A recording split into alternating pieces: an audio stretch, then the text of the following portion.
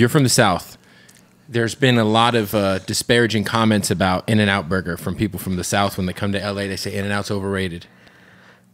Let's talk fast food for a sec. Okay, You guys got Zaxby's down there. Zaxby's fucks. Yeah, We love Raising Cane's too. That's good. I like Raising Cane's. I get down on that. Um, I think I think for me though the the uh, uh, In-N-Out burger. I think the burger is is is top notch. I do love that burger. Like when I want a shitty burger, I'm going for that shitty burger. Like In and like, Out's to me the top notch fast food burger. Yeah, The I fries. think I think see that's that's and then we can all agree that the fries are fucking.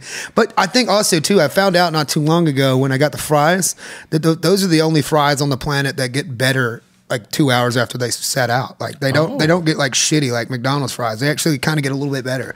Or maybe the And then if you get maybe them animal the, style, yeah maybe maybe the the bar is just so low that consecutively three hours later they're just still be that shitty. Cut like fresh potatoes. They just and Yeah. then they here you go. They're just they're not they're not, They're not yeah, processed. Yeah, see, maybe that's what's wrong with them. Hmm. Maybe just, we just fucking Americans just love just shit toxic. We do. We're all all this processed bullshit that's Dude, I find when I go to Europe too, it's the same way. Like when I go get like some fast food, like Taco Bell, it's like this fucking not near as good as I wanted it to be. It's, In- it's- in and Europe? like in like London or something. You know, Wait, they have Taco Bell in London? yeah. Oh wow, that's an interesting choice of food if you're in London. Well, but I, I had to go try it out, you know, and and, it- and it, but it's different because well, it's not everything's yeah, everything's got to be real food, you know. So like, even your McDonald's burger is hundred percent beef, and it's like I don't want hundred percent beef. I want like cardboard want and like crushed up beetles and shit.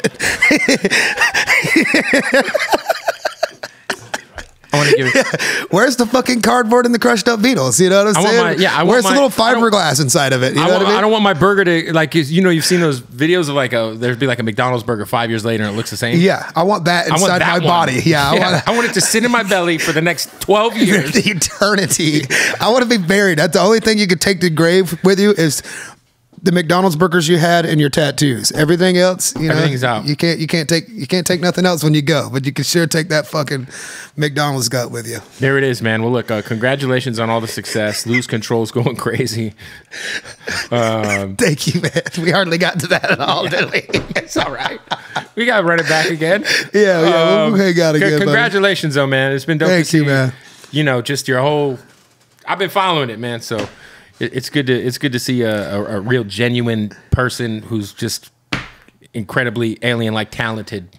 Man, I appreciate Do their that so much. Thanks so much for Yeah, having man. me, bro. We got yeah, we'll do it again and again, man. Anytime. There it is, man. Teddy Swims. Appreciate you, brother.